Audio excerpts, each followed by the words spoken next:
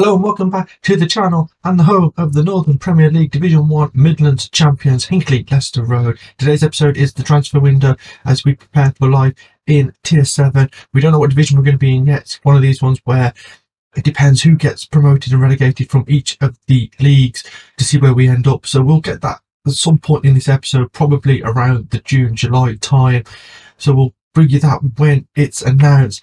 As for signings, I'm not sure exactly where we're going to go in terms of signings. If we have a look at squad depth, we have only really Oscar Massey as a striker. In those attacking midfield roles, we've got a number of players that can play all across the fr that front three. DJ Vilamo, Era Jackson Jr., Jay Rollins, Chris Hughes can only play centrally. Central midfield, we might be a little bit short in Flickcroft, Williams and Hodnett are the only out and out central midfielders that we have. Centre backs, Zach Pianin, Lewis Tallock, Hugo Jenkinson, Oscar Burgess Towers, and Lewis Hutchins can all play at centre back. Right back, we've got Tallock, Anakin, and Bagan, and left back, we've got Warren, Campbell, and Bagan. We might need to just improve on that. We also probably do need a backup goalkeeper. We move these to the three star minimum ability. Central defence, we look pretty good. It's just everywhere else, we don't seem to have enough depth probably compete at the higher level. So we're looking to try and improve the squad as a whole once again. And also trying to keep together the core of this side. We don't want to shake it up too much. I'm not one of these, I don't to like to just completely change the 11 if I can help it. I like to try and keep the core of the previous squad together, even if a lot of them aren't going to start. I like to keep them around the squad as bench players. First signing in through the door, Jonathan McCauley is a 19-year-old goalkeeper, two-star current ability, five-star potential ability. He comes in as a backup goalkeeper and he's agreed backup goalkeeper. So we shouldn't have any issues there. We've brought him in on an appearance fee, £75 an appearance. So that is good. It's not going to be a big issue if he leaves, I don't think. But we needed someone who knows that they're a backup keeper. Morgan Piper didn't want to be a backup keeper last season. He, again, there's some decent potential there if he can fulfill it. So I don't think this is a bad signing at all. Welcome in Jonathan McCauley. Also with that, we see Matthew Fenton commit his future to the club. The 19-year-old central midfielder will be back for his third season. He's played 39 games for us, two goals, five assists in that time. Steady 6.85 rating after we brought him in from Fleetwood. Numbers wise, not too bad decent teamwork, decent work rate, acceleration's good, standards okay. Again, it's another one of these little uh, central midfielders that we seem to have at the club. Long shots very good at 11, passing's exceptional at 14, good aggression at 15. There's another one that we wanted to keep in the club because I feel like he is someone that's going to be here for a long time, especially if he can continue to keep improving. So Matthew Fenton, new deal, keeps him at the club. So Lewis Tallock leaves, he goes to Bury Town. Uh, Scott Reese has also left, well, leaving on the 30th of June. He's moving for, for money, for 1.6 thousand pounds. We have brought in Hugh Alban Jones, who's a three-star defensive or central midfielder. Apparently can be a good Bet League 2 player.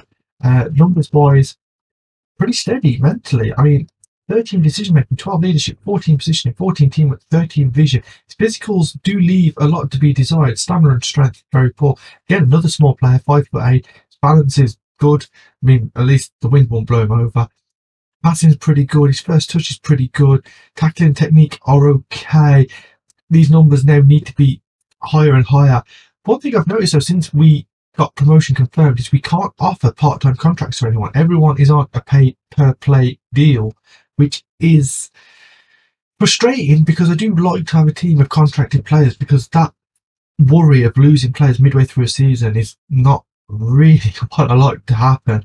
But we have to make do with what we've got. We have got a core of players, like I said, that are on contracts for the next season or two. So that's not a massive issue. It's just some of these new boys we bring in might not be at the club long. We can't get too attached to them. Three central defenders in, Finley Jackson, Lucas Berry and Darren Phillips. Darren Phillips is the only one who looks half decent. He's a 28 year old centre back, unlikely to improve from where he is now. So a lot of grey stars in these players. So maybe they're better than we first thought. But we've got them all in on two week trials.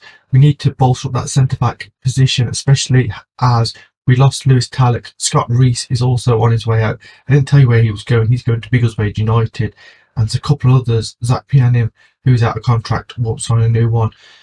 So that's why we've got three of those in. We may have to wait for the 1st of July and some of the released players to become available. So two more defenders into the club. We have Darren Phillips in on a free, as everyone is. 28 uh, year old central defender trying to strengthen up that area of the pitch. Good heading, good marking, good tackling, good positioning, good teamwork, work rates, good natural fitness is good, stamina and strength is good. Six foot two centre defender. Pretty good in the areas that he needs to be, not very good elsewhere.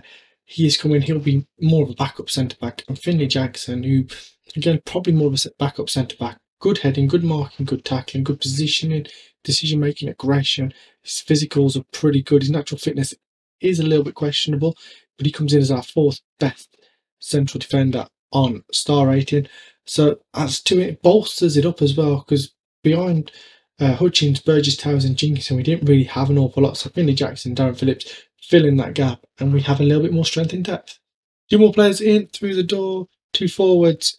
Tommy Wright and Reese Miller. Tommy Wright is an out and out striker, 11 finishing. Physicals are pretty good apart from the fact he can't jump and he can't battle anyone off. He's 5 foot 6 centre forward, 16 determination, 15 bravery, 12 acceleration, 11 pace. Should be decent, should provide sort of challenge to Oscar Massey. And the other one is Reese Miller. Nothing really in the technicals, a lot of sixes and sevens in there. Uh, physically, pace of 13, uh, agility of 11, natural fitness of 14, strength of 10, 5 foot 7. So looks like more of a quick uh, in behind sort of striker. So he comes in as well. They, like I say, both of them should provide a challenge to Oscar Massey and should give us a lot more strength in depth because we have no strikers apart from Oscar Massey as of the 1st of July because Lewis Clements will be out of the door come then. So we're in the Southern League Premier Central. Two teams that used to be local to me, Halesowen and the non-league team that I used to follow, Stourbridge, are in the division with us. Halesowen, we obviously played a couple. I think it was last season, or was it the season? Before, I think it was the season before last. We played them. Uh, Stamford, who came up with us last season, they're in there. Leamington, Nuneaton, Borough are in there. I mean, that is a proper local derby. Hinckley, Nuneaton, and Rushden and Diamonds in the league too. So a number of local teams in there as well it's going to be a tough league to get out of. We have to avoid relegation. That's the objective of the board. As for the competitions, we've got the Southern League Cup, which we enter in the second round, the FA Trophy, which we enter in the third qualifying round, and the FA Cup, which we enter in the first qualifying round this time. So we don't have that game uh, before the league season starts this year. Another signing through the door, right winger Lewis Gilboy comes in, decent physically, mental, not Another signing in through the door, it is Lewis Gilboy. Physicals look pretty good. Again, strength is a little bit on the low side. Technicals, okay, okay numbers where they need to be. Probably, maybe on the low side. Mental's not great, but he's another right winger that comes in and strengthens that position. So Elijah Champ comes in on the left hand side of midfield. He strengthens up that left hand side. Um, Nick Jackson has moved out on loan, so he pretty much comes in to replace him. He is the best left winger at the club, according to Star Rating. Physicals are pretty good, good acceleration, good agility, good pace, decent stamina. Strength and his jumping reach are very poor. Flair and work rate, very good. Technique and passing also very good. Crossing's a little bit suspect, as is his finishing, so I'm not sure whether he's going to cut inside or stay wide, because he's not particularly great at it either. But it is another signing through the door and it strengthens up that left wing position. As we lose out on virtually every transfer target we go after, we finally brought another player in, 19 year old Murphy Parker. He is an attacking midfielder slash central midfielder, good first touch, good technique, good work rate, physicals pretty good in most areas, good acceleration, good pace, good stamina, natural fitness is okay, his agility is okay, balance and jumping reach are questionable, strength again, a little bit questionable, especially if that's centre midfield role. But if he does play in that attacking midfield role, hopefully it shouldn't matter as much. So welcome to the club, Murphy Parker. So as we're about to end the episode, we have brought two more players, two more fullbacks on either side. Harry Baker first in. He is a right back, very good physicals, mentals pretty good where they need to be. Technicals not as good. Another fullback that can't cross, but we need a bit of strength and depth in that fullback position. So he comes in on the right hand side. Joshua Bailey is the man who comes in on the left hand side. A lot of white. Again, decent physicals. Mentals look pretty good. Even his uh, technicals look pretty good. Decent crossing, decent marking, passing, tackling, technique, all pretty good there.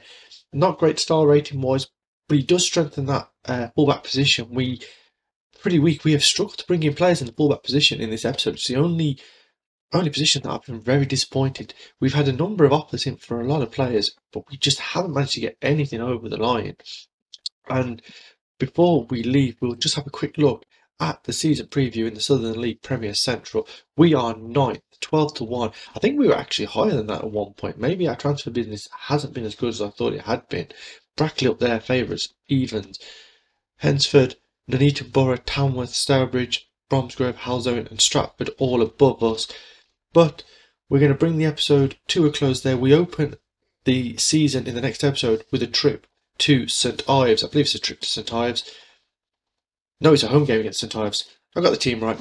We got a home game against St Ives before we go to Rushden Diamonds and Stourbridge. We'll probably play the first three games in that episode. Maybe go to the Redditch game depending on how things are going. But it's a very exciting time. We are not one of the favourites for relegation. We hopefully can push on and we are one division below the base game, Vanarama National League North and South. That is a great achievement to have done in the first three seasons. I don't expect promotion this season. I think it might be a two or three year job to make it to the Vanarama National League South. But we'll do what we can do. And if you've enjoyed today's episode, if you've enjoyed the transfers that we have made, on this approach towards the Vanarama National League regional divisions, please give the video a like, subscribe to the channel, and I'll see you next time for the start of season 4.